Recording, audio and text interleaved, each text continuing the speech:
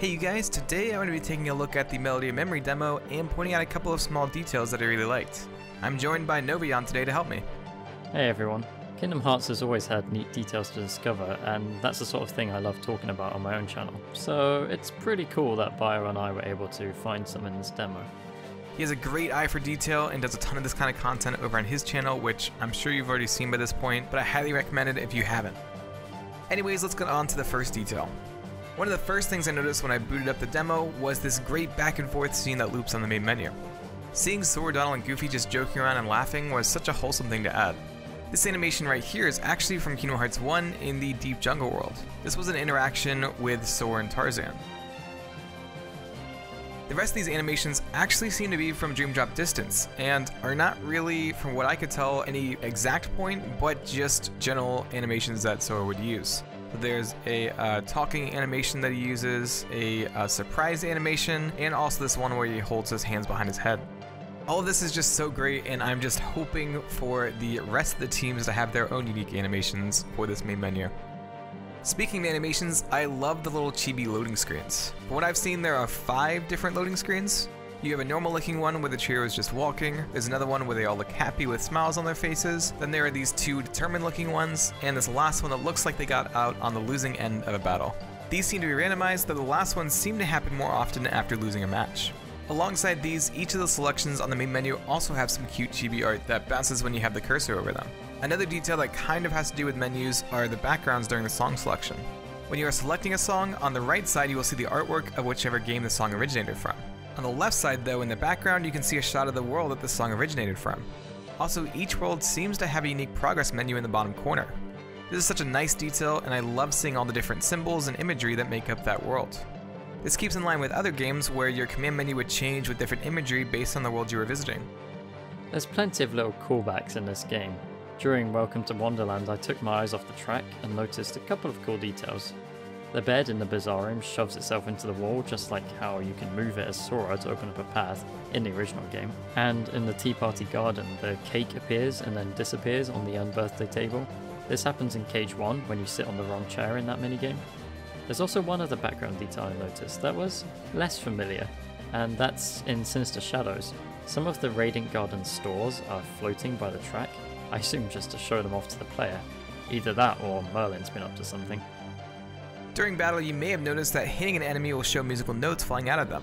We've always seen something fly out of Heartless, and the fact that notes that all look the same fly out instead of a heart makes me think that these will either be melody or memory-based enemies created from Kairi's memories as she dreams to find Sora. I wonder if this will be what all these enemies will be created from. It could be another form of enemies, being a memory-esque enemy, adding to the list of Heartless, Nobodies, Nightmares, Unversed, and whatever else enemies I forgot to mention.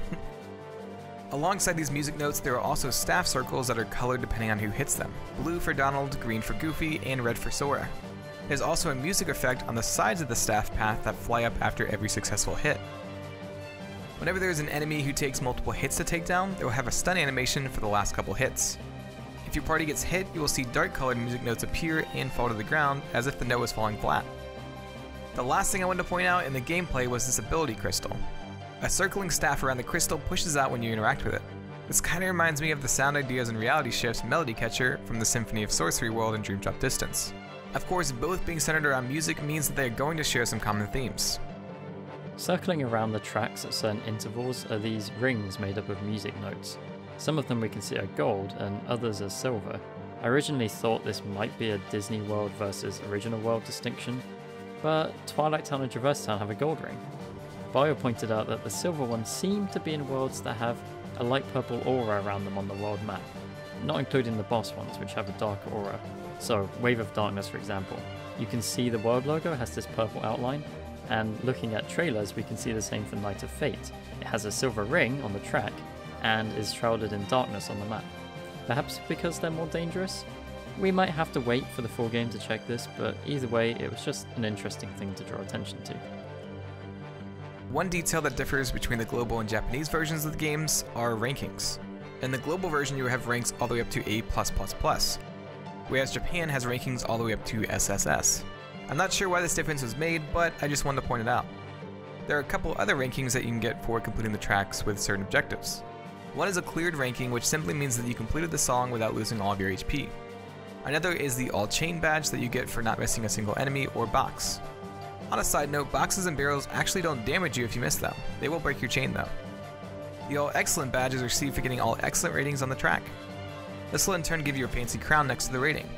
You can also get a less fancy crown for just getting the excellent bar filled out on all the segments. Each time you play a track, you can fill up different sections, and your best version of that section will be saved. So you can fill up the bar and get that initial crown with your multiple playthroughs, but it isn't until you do a perfect run that you'll get the all excellent rating and the fancy crown. One last thing to note about this ranking screen is that you can actually level up in the demo.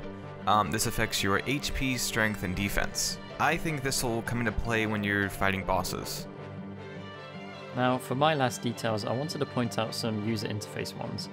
I like how the little Sora running icon is a match for his KH1 running style, viewed from the side. Also, the world tracks end with the screen transition we've grown so accustomed to. I found it interesting to look at these as the first Kingdom Hearts game didn't have them between rooms, so for Wonderland, we have the Cheshire Cat, which is from, I believe, Kingdom Hearts Key. They used this instead of the Ace from Days, I assume because it's already in high res. As for Traverse Town, it has the heart symbol. This was actually used for the world in Recoded. These are pretty small things, but it's nice to make note of them given how much nostalgia Melody is going to be giving us. Oh, and I am quite grateful to the team for using the original Heartless and Unversed colours instead of the Final Mix recolours. I know the original colours are considered the canon ones anyway, but man, it's just good to see red wyverns again. The last detail I want to talk about was all the triangles that make up a ton of the UI. While it may not be anything and it may be a huge stretch, I've been talking with Damon Water Cage a ton about Yozora and we noticed an interesting detail. A lot of his attacks revolve around triangles. Now Water Cage made the point that triangles are used in rendering to save on computation power and you can create any shape from them. So I wonder if the UI in Melody Memory is some kind of nod to Ansem using a supercomputer to help Kairi dive into her memories. Again, probably a huge reach for what could just be a unique UI concept, but I wanted to point it out. And that is all I have for you guys today. A huge thank you to Novayon for coming on and helping me with this video. If you enjoyed this, you will love his content, so be sure to check him out. Anyways, thank you to my patrons who support me. Their names will be on screen right now. If you want to see my breakdowns early or schedule the breakdowns I want to do for each month, head over to my Patreon. Click the cards on screen to see some other Melody and Memory content. Subscribe or share this and I will see you in the next video.